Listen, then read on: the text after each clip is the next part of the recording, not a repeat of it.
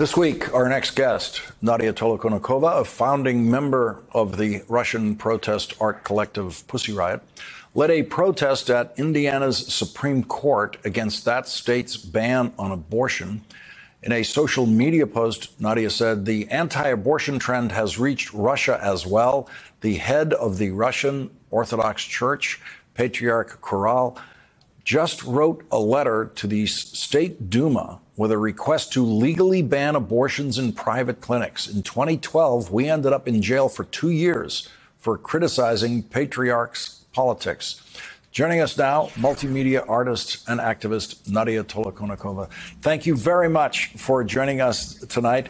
Uh, tell us about your trip to Indiana. Why Indiana? Um, well, I was invited to um, do a lecture at Indiana University, and I happen to believe in uh, combining theory and practice. And I wanted to tell students about the um, protest art, about combining art and activism, but also I wanted to deliver them practice. And so at the night, uh, in the night, we had um, the lecture. And the next day in the morning, early on at 7 a.m., we had um, the performance itself. And um, also, well, we know that Indiana um, became one of the first states to install near um, total near total abortion ban, and it's just terrifying.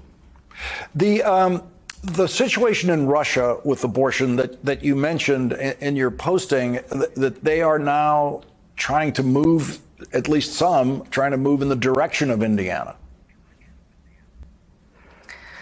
It, well, the, there is a trend. So Russian conservatives pick up the worst traits of the American conservatives, and uh, you have a very strange country, Lawrence. You have uh, clowns like Mike Johnson, who apparently needs permission to watch porn from his son. Um, they have the right to decide what I do with my body, and in Russia, um, the conservatives do the same.